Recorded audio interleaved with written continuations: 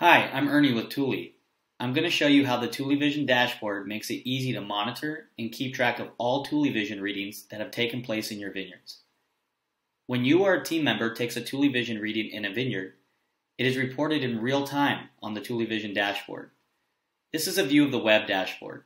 The same information is also reported in real time on the Tule iPhone app. The Tule Vision dashboard lists each block's most recent leaf water potential reading displays them on a color-coded map. The Tule Vision dashboard also lists the blocks by most recent activity.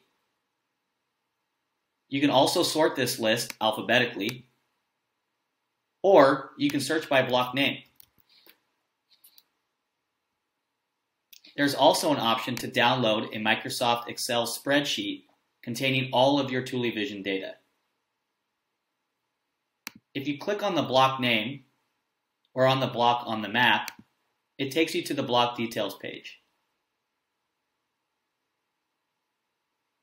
On the block details page, you can view details from every Tule Vision session that has taken place within the block, including who took the reading, when the reading took place, and where in the block the reading took place.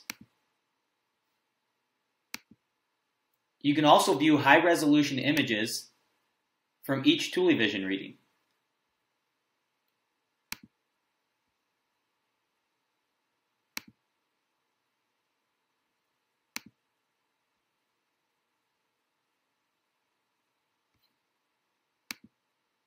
For more information on Tule Vision, send an email to info at tuletechnologies.com.